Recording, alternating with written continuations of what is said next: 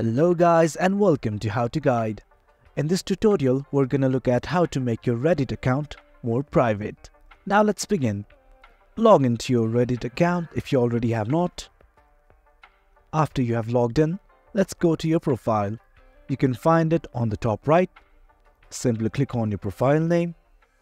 A tab will open and select the user settings.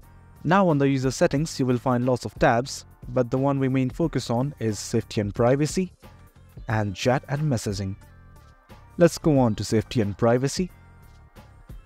In here we can block people, mute communities. The main thing we want to do is focus on this privacy section and toggle off this button which says show up in search results.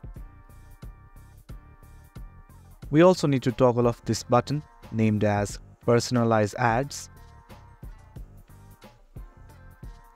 Now moving on to chat and messaging. It shows who can send us chat requests and who can send us private messages. Let's change it to nobody. You can also add the approved users. Well, that is it guys. That is how you make your Reddit account more private. Hope you found this video useful and for more informative content like this, do remember to hit like, share and subscribe. Thank you.